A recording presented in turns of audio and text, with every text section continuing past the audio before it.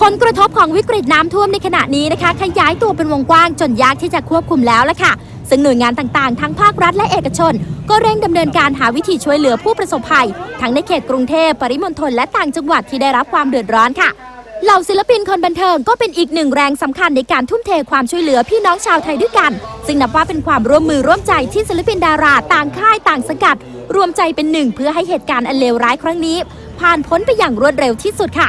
และนอกจากแรงกายที่พวกเขามอบให้ ทั้งจากการลงพื้นที่ไปแจกจ่ายสิ่งของจำเป็นให้แก่ผู้ได้รับความเดือดร้อนแล้วกำลังใจก็เป็นสิ่งสำคัญที่พวกเขาและเธอเหล่านั้น พร้อมหยิบยืนให้แก่พี่น้องคนไทยด้วยกันในยามยากเช่นนี้ค่ะเบคิดว่าไม่นานหรอกครับ ถ้าเผื่อว่าเราเราบวกซะหน่อยครับ ซึ่งซึ่งมันก็บวกยากนะบ้านหายไปทั้งหลังเนี่ยแต่ก็บวกยังไงเราก็ต้องเอาเราให้อยู่ครับเอาใจเราให้อยู่ว่าเราต้องไม่อารมณ์เสียนะครับ เราต้องเราต้องไม่หดหู่ เพราะว่าเดี๋ยวพระอาทิตย์ก็ขึ้นเดี๋ยวความช่วยเหลือก็จะไป แต่ก่อนที่ความช่วยเหลือจะไปถึง เราต้องช่วยตัวเราเองก่อนครับว่าเดี๋ยวมันก็ผ่านไปครับเดี๋ยวมันก็ผ่านไป เอาใจช่วยทุกคนนะคะที่ประสบปัญหาอยู่ หรือกำลังจะประสบปัญหา แล้วก็ค่อนข้างรุนแรงนะว่าตอนนี้กำลังใจเป็นเรื่องสำคัญข้าวของนะว่ายังไงยังไงก็ต้องถึงมืออยู่แล้ว เราเราคงจะไม่ขาดเหลือตรงนี้แต่นะว่ากำลังใจแล้วก็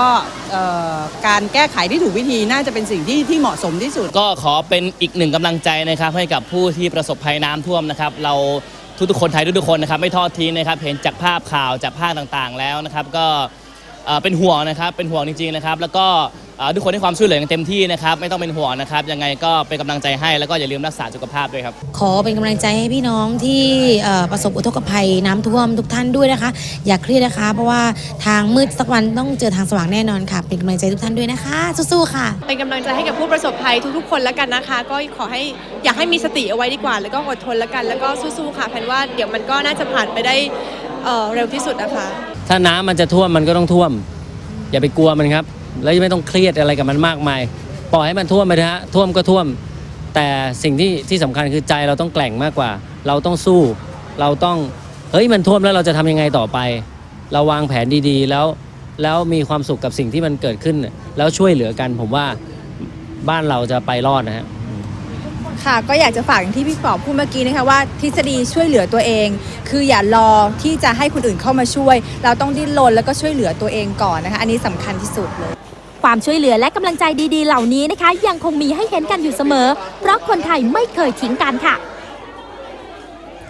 เป้อารักษ์ก็อีกคนหนึ่งนะคะ ก็ออกไปลงพื้นที่ช่วยเหลือผู้ประสบภัยค่ะ ที่คลองบ้านพร้าวจังหวัดปทุมธานี เจ้าตัวเนี่ยทั้งเหนื่อยทั้งง่วงนะคะ แต่ก็ออกไปช่วยค่ะ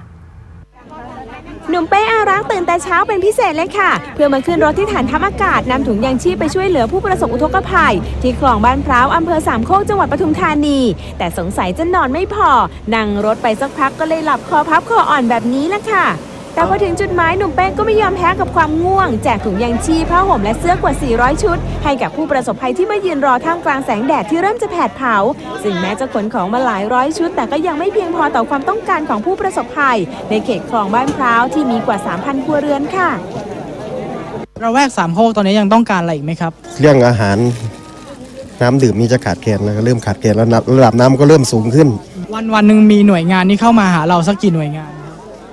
เท่าที่เห็นก็มีมีมีมาทุกวันนะครับ แต่ไม่รู้ทราบว่าจะเป็นหน่วยงานไหนบ้างครับ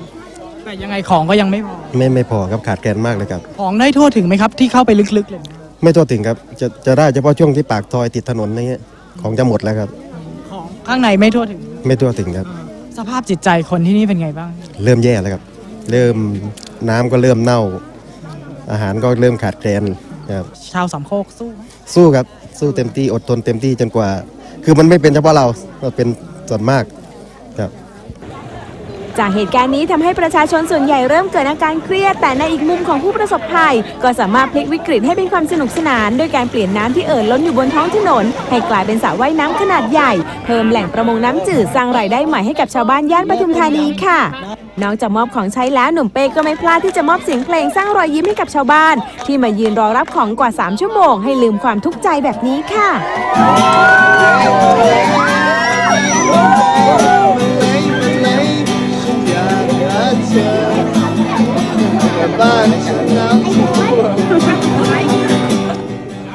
ฉลากลูกหนานครับผม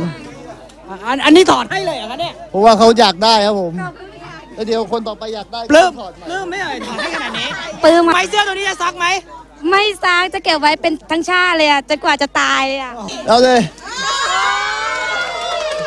ไม่กล้านี่ไม่กล้าไม่กล้าก่อนเลย